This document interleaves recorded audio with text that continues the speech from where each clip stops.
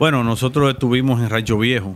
Eh, lamentablemente unas cinco viviendas pues eh, sufrieron y fueron afectadas.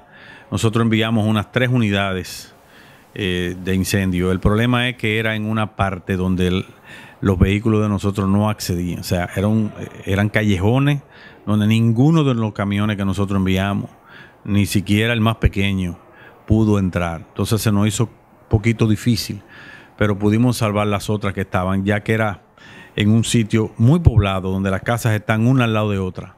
Estuvimos combatiendo ese incendio ahí de unas cinco viviendas. También estuvimos anoche eh, en Cabilmota, rescatando una persona que eh, en el momento de cruzar un puente, pues el río eh, se lo llevó con todo y vehículo. Eh, estuvimos trabajando ahí con los amigos de la Cruz Roja también esa noche. Eh, saliendo de ahí de Cabilmota, ya eran las nueve de la noche. Eh, tuvimos que asistir también a la gente de camino del Ministerio de Obra Pública para quitar un árbol que se cayó en el kilómetro 14 eh, de Camino La Vega Santo Domingo.